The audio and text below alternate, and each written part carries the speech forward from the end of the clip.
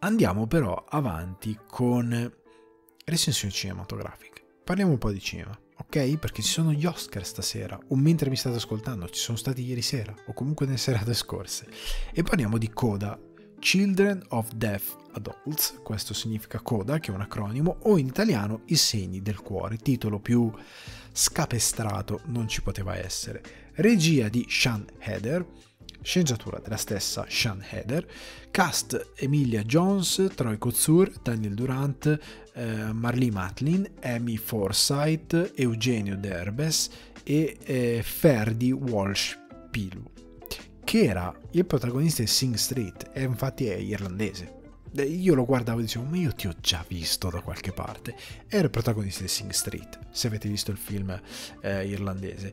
Il film Coda è un remake di eh, La Famille Bellier del 2014 di Eric Latigo, credo sia la pronuncia corretta. Attualmente agli Oscar è nominato a miglior film e sembra le quote si siano impennate. Miglior attore non protagonista Troy Kotsur, che ha già, ha già vinto dei eh, premi. Miglior sceneggiatura non originale. Allora, Ah, ecco, e ha vinto ai BAFTA Troy Kotsur, appunto, e Emilia Jones come eh, migliore nel leading role, quindi miglior ruolo protagonista, e miglior sceneggiatura originale. Quindi ha già dei premi importanti. Ehm, cosa posso dire di coda? A parte lo chiamerò coda perché i segni del cuore non si può sentire. Io ogni volta che c'erano le nomination dicevo, ah, i segni del cuore, dicevo, che cacchio è i segni del cuore? Poi coda, porca miseria. Cioè, t- talmente poco. Comunque, lascialo coda, tanto non è che in italiano coda viene male. I segni del cuore viene meglio, secondo me lo vende peggio considerando il significato del film. Diventa super cheesy. Perché nelle traduzioni, quando non si sa dove andare, si fa nel super, super, super cheesy? Perché non si può restare su qualcosa di. No, non capisco. Capi... Lascia stare, dai lì, lascialo coda. Che segni del cuore. Comunque, eh, andiamo al film. L'ho recuperato. Eh, era sul mio Apple TV Plus da mesi da mesi. Io quando avevo fatto Apple TV Plus in Irlanda avevo iniziato e vedo coda, dicevo, bah, sarà un bel film, lo guarderò. E tutte le volte lo rimandavo, lo rimandavo, lo rimandavo. Paradossalmente l'ho recuperato in questi giorni. Il film mi è piaciuto. Eh, la storia la riassumo molto semplicemente. Coda appunto Children of uh, Deaf Adults, quindi è un acronimo che si usa per identificare bambini di genitori sordi, sordomuti, e la storia parla di questo. È la storia di questa ragazzina che è l'unica eh, persona nella sua famiglia che è udente. Perché madre, padre e fratello maggiore sono tutti sordi, sordomuti, tutti e tre.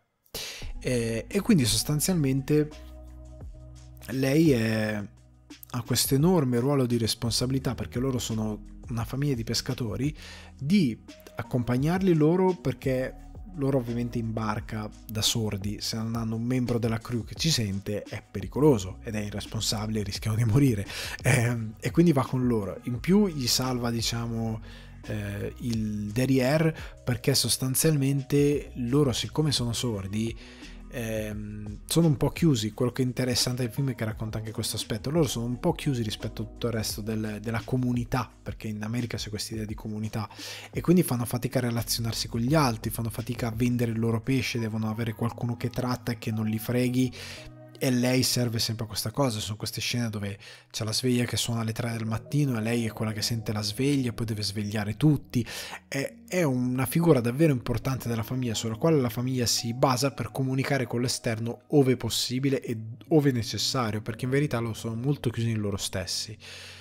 Ed è interessante perché descrive una realtà che a quanto pare coda esiste questo acronimo perché chi è figlio di eh, sordi o comunque sordomuti e invece è nato eh, senza la disabilità ha molte ripercussioni psicologiche. Questo film in larga parte vuole raccontare questa cosa, solo che è anche una sorta di coming of age movie perché la ragazza a un certo punto, ehm, anche per andare indietro un po', per andare indietro a un ragazzo, deve scegliere un corso che la aiuti per il college sceglie di eh, entrare in questo corso di, di canto perché a lei piace cantare, però contestualmente lei ha una voce stupenda.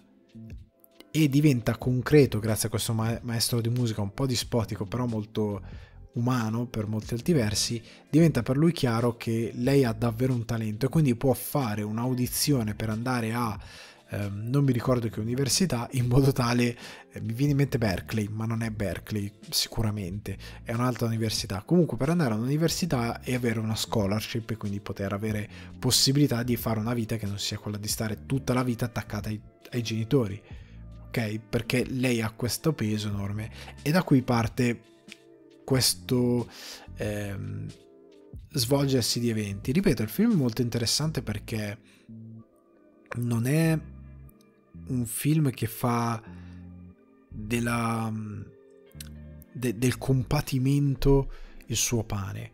Cioè non ha la stupidità di dire ah poverini queste persone eh, sordellire umani, come è giusto che debbano fare le storie. Quindi persone che hanno dei tratti comici meravigliosi. Cioè, io ho capito perché questo eh, attore Troy Kotsur ha ricevuto tante nomination, perché è veramente bravo e fa spaccare da ridere, ha un personaggio che fa spaccare da ridere.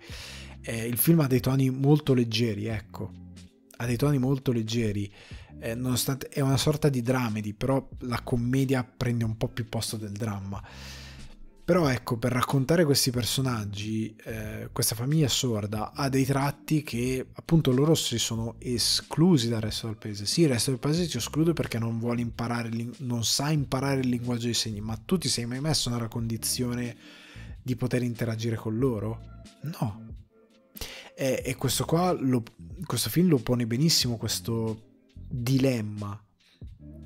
Ok? E che i figli di eh, appunto questi coda possono provare perché hanno una famiglia che gli dà addosso a loro, e questo è uno dei conflitti del film, un'enorme responsabilità che loro dovrebbero seguire per, per tenere in piedi questo clan, però allo stesso tempo loro non si mettono nella condizione di poter far parte del resto del mondo. Quindi è vero che il resto del mondo potrebbe escluderti, ma è vero anche tu che per via magari di esperienze pregresse brutte o per via di un certo una certa paura di non essere accettato e non confrontarti con, con gli altri, ti sei tolto la possibilità di poterlo fare a monte. E questo film lo mette in evidenza. Ed è una cosa positiva perché apre un dialogo più onesto con lo spettatore per spiegare determinate cose. E lo fa molto bene ed è molto intelligente. E lo fa attraverso una commedia, un coming of age mescolata a dramedy è molto interessante perché si parla della crescita di questa ragazza che vorrebbe andare via, che vorrebbe inseguire determinati sogni, ma che gli vengono dati anche delle responsabilità alle quali lei risponde che sono un po' troppo grandi per lei, con delle leve morali che non sono poi così giuste. È un film che comunque ehm, mette anche in luce quanto possano essere crudeli le persone che non capiscono cosa significa avere dei genitori sordi. Eh, nel film c'è una descrizione, cioè viene, viene data idea di come è stato l'impatto, ad esempio, l'andare a scuola la prima volta. Cioè, noi impariamo il linguaggio anche per osmosi. Cioè, perché abbiamo l'accento? Perché tu cresci in, uh, in un determinato posto dove tutti pronunciano le parole in un determinato modo e tu le impari in quella maniera. Ok? Perché riesci magari a pronunciare determinate espressioni dialettali, poi vai in un altro posto con un altro dialetto e non riesci, perché non l'hai imparato per osmosi, dovresti imparare la dizione nuova di come parlare quella, quel dialetto, di come pronunciare determinate inflessioni dialettali. L'udito è un enorme strumento, tu impari determinate cose per osmosi. Ok? Non è che un bambino un giorno dice una parola, papà, sedi a cavallo, ehm, non lo so, eh, David Lynch perché, perché qualcuno gliel'ha insegnato a livello didattico, ma per osmosi, ok? Se tu sei figlio di sordi e questi non spiccicano una parola, quando tu ti troverai a dover pronunciare le parole e sei poco esposto a come queste parole sono pronunciate perché sei poco esposto al parlato, e eh, tu suonerai molto strano quando parlerai e viene descritta, viene un po' eh, reso conto di questa situazione, anche se sarebbe stato bello vederlo all'interno del film, ma probabilmente non c'era il giusto spazio per farlo. Però ecco, è una cosa interessante che non viene raccontata.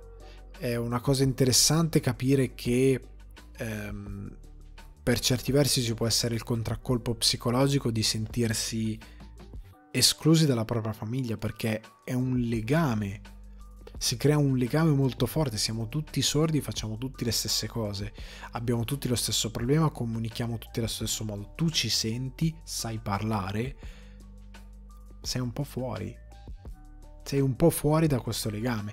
Una cosa anche molto divertente, la ragazza è a casa, sta studiando, sta facendo i compiti, ha il padre che gratta la griglia facendo un casino disumano perché è sordo, la mamma che prepara la tavola e spatta i piatti, butta le posate, fa un casino inenarrabile, il fratello che gira su Tinder con la suoneria a palla e quindi ogni volta che fa uno swipe parte sta suoneria. È, è, è incredibile, tutte cose che noi diamo per scontato ma che esistono eh, i genitori fanno sesso, fanno sesso facendo un casino boia, perché di nuovo siamo sordi, non sentiamo, non abbiamo idea di cos'è il casino. È molto interessante questo discorso che fa il film ed è molto intelligente.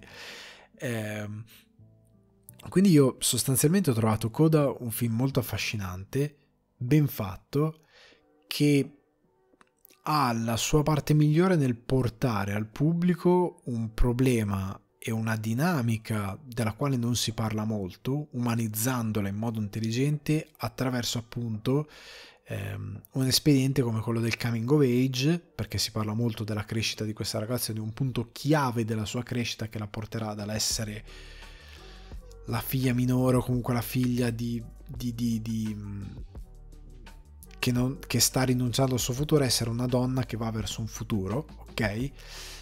Viene fatto tutto attraverso queste dinamiche che sono molto leggere, che sono molto per tutti, che riescono ad arrivare a tutti. Quindi chapeau al film per aver scelto il modo giusto per raccontare che non è obbligatoriamente un drammone, ma che è qualcosa di diverso. Cioè Sound of Metal è un film bellissimo, però racconta la condizione della sordità, perdere l'udito e determinate cose attraverso un canovaccio che in commedia non avrebbe funzionato perché è una cosa diversa, perché vuole anche degli intenti diversi ma che potrebbe risultare pesante a qualcuno. Questo film sceglie di raccontare una condizione diversa da quale Sound of Metal, eh, sia chiaro, le dinamiche sono diverse, però non attraverso il dramma come che il, l'espediente da premio che avrebbe prediletto chiunque altro, ma attraverso una commedia sostanzialmente. E attraverso un coming of age, un film di crescita, e, perché poi c'è anche la relazione, l'esporsi ecco, agli altri, il mostrarsi agli altri questa ragazza perché si può mostrare per quello che è, per il suo cantare. Eh, è molto intelligente qualcosa. Io l'ho apprezzata veramente, veramente tanto. Quindi, eh, bravissimi. Difetti, io posso dire che è un film che ehm, potrebbe rimanere relativamente cioè, nel senso che per quanto sia ben congegnato a livello di commedia, per quanto il coming of age sia interessante, perché viene scelta la musica, anche per quanto semplicistico possa essere, però mettere in contrasto una famiglia di sordi con una figlia che è l'unica udente che paradossalmente ama il canto, quindi le piace cantare, quindi è una cosa che loro non possono neanche apprezzare perché non la sentono. Cioè, come fanno a apprezzare, come fanno a sapere se la figlia è brava o meno? Tant'è che ci sono diverse dinamiche anche riguardo questa cosa perché loro non riescono a accettare per certi versi questa cosa. Perché cantare, come facciamo? Se non sei capace, cioè il fatto che loro non lo percepiscano mettono un dubbio che gli altri possano giudicarla bene. È assurdo, però può succedere. È molto umana come cosa. Ripeto, umanizzare i personaggi e non unicamente attraverso la loro condizione, ma attraverso il fatto di essere persone che è una cosa che dimentichiamo sempre di fare.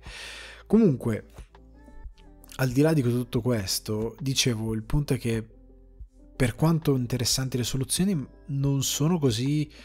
Ehm, non, a me ha commosso sotto certi punti di vista, però non è un film che probabilmente da qua a 5 anni, come sempre capita in questi casi, torneremo a dire cavolo mi sono rivisto Coda l'altro giorno. Non è un film che probabilmente diventerà un comfort movie, a livello di massa magari.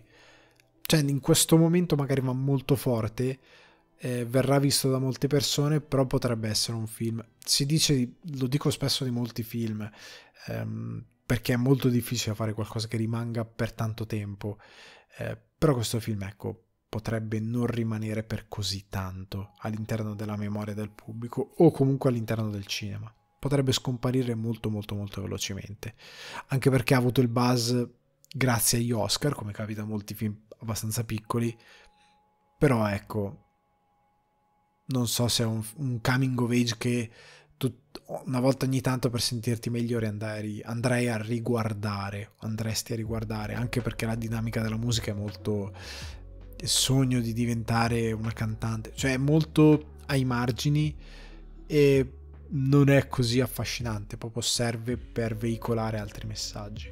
Quindi è un film che funziona lì per lì, ma nel lungo periodo non credo funzionerà così tanto. Cioè è il momento di questo film, poi si perderà. Mm, credo sia abbastanza inevitabile, non è così forte.